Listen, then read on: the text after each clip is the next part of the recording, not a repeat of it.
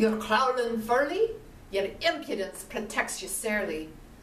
I cannot say but ye thought rarely or gauze and lace, though faith, I fear ye dine but sparely in sic a place. Ye ugly, creeping, blasted wonder, detested, shunned by sant and sinner, how dare ye set your feet upon her, so fine a lady? Guess somewhere else and seek your dinner on some poor body. Swith, in some beggar's hoffet squattle. There you may creep and sprawl and sprattle with other kindred jump jumping cattle, where horn nor bane ne'er dare unsettle your thick plantations. Now, haud ye there, you're out of sight below the fatherals, snug and tight.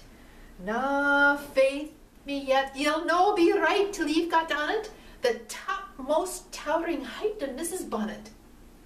Oh, my sooth, right bod ye set your nose out, as plump and grey as any groset. Oh, for some rank, mercurial roset or fell red smidum, I'd give ye such a hearty dose on it to dress your throatum.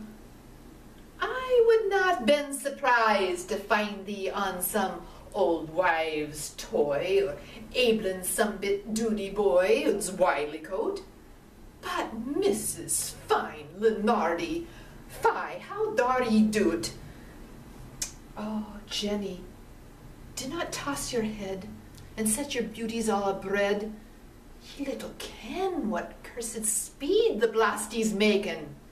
The winks and fingerings, I fear, are notice taken.